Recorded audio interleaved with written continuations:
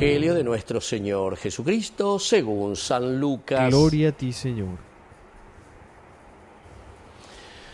Durante su embarazo, María partió y fue sin demora a un pueblo de la montaña de Judá.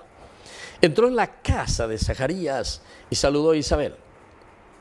Apenas Isabel oyó el saludo de María, el niño saltó de alegría en su seno e Isabel, llena del Espíritu Santo, exclamó, Tú eres bendita entre todas las mujeres y bendito es el fruto de tu vientre. ¿Quién soy yo para que la madre de mi Señor venga a visitarme? Apenas oí tu saludo, el niño saltó de alegría en mi vientre. Feliz de ti por haber creído que se cumplirá lo que te fue anunciado de parte del Señor palabra del Señor. Gloria a ti, Señor Jesús. Queridos amigos, qué hermosa esta lectura. Es la continuación siempre en estos tres días, hoy, en este jueves, la tercera partecita. Dice después que ha engendrado en su seno, después de que el ángel ayer estábamos escuchando, tú serás la madre del Salvador. ¿Cómo puede ser esto? En fin, todo esto, pero al final yo soy la servidora del Señor. Y en ese momento entonces se engendra Dios mismo, hoy que de virebe, hoy que de humanidad, hoy que de ove incarnis en la carne, en nuestra carne. Quiere decir eso, queridos amigos, entra en nuestra situación, nos acompaña, nos ayuda a nosotros a religarnos, o pego la religión, a religarnos a nuestra propia existencia. Es importante e interesante entender este aspecto teológico desde una mirada muy, muy, muy antropológica, es decir, lo que nos sucede a nosotros en un lenguaje bien nuestro. ¿Y aquí qué pasa cuando le tenemos a Jesús? Dice durante el embarazo, pues ¿qué pasa con María? Dice, partió y fue sin demora a un pueblo de la montaña de Judá. Se va a visitar a su prima Isabel.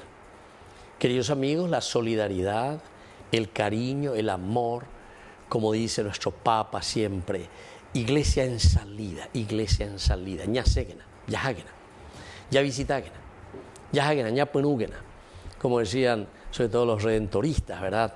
En la gran misión que ellos hacían siempre y hasta ahora, ¿verdad? Como carisma.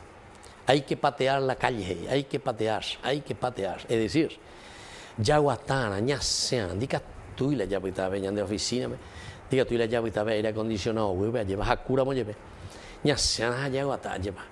mo lleve Incluso Francisco de Asís, ¿verdad? cuando salía después del almuerzo, dice, con sus monjes, con sus seguidores, salían a caminar ahí por el pueblito de Asís.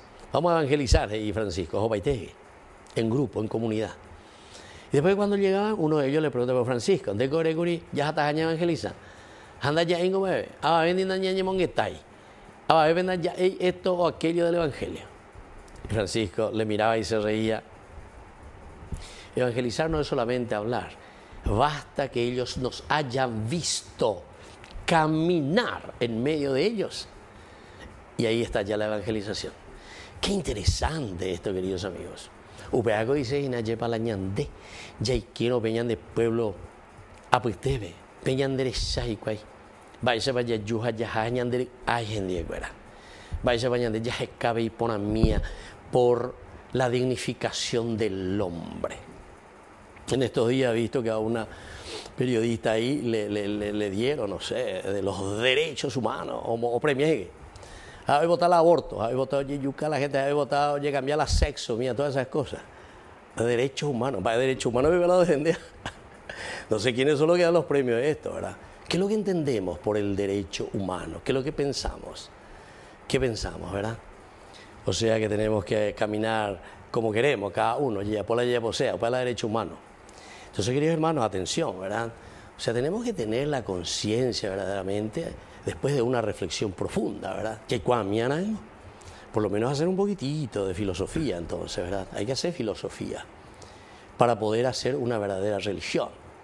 Porque también la religión sin el coco que la gente lleva sino una reflexión profunda del aspecto filosófico, es decir, existencial, el religarte a la existencia, ¿verdad? Entonces después defendemos lo, indefendible, ¿verdad? Defendemos lo indefendible. La vida luego del primer momento hay que defender y hay ciertas personas que no, dice tranquilo, sos dueño de tu cuerpo, haz lo que querés. Pero ñaña premiata por derecho humano. Entonces, queridos amigos, esto es muy importante aquí cuando María se pone, es la primera que se pone en camino, partió, fue sin demora a este pueblo de la montaña, entra. Tú eres bendita entre todas las mujeres y bendito es el fruto de tu vientre. Bendito el fruto de tu vientre. Pero tú eres bendita justamente. ¿Por qué somos benditos? ¿Por qué somos baraj? Dice el Antiguo Testamento, la gracia de Dios, la bendición de Dios. ¿Por qué?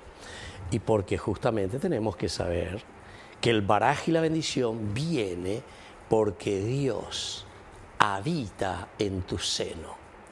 Hay que tener y hay que saber, ¿verdad? Lo que dice.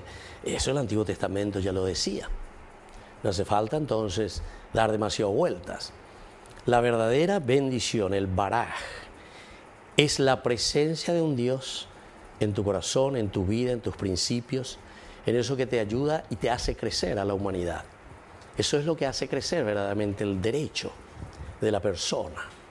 Es la defensa, ¿verdad?, de la vida del indefenso, como también de aquel que puede defenderse, ¿verdad?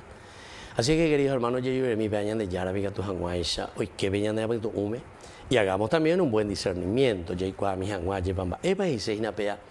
de ponerse en camino, salir visitar, conocer, ayudar. Es lo que el Señor nos pide cada día. Que así sea. Que así sea.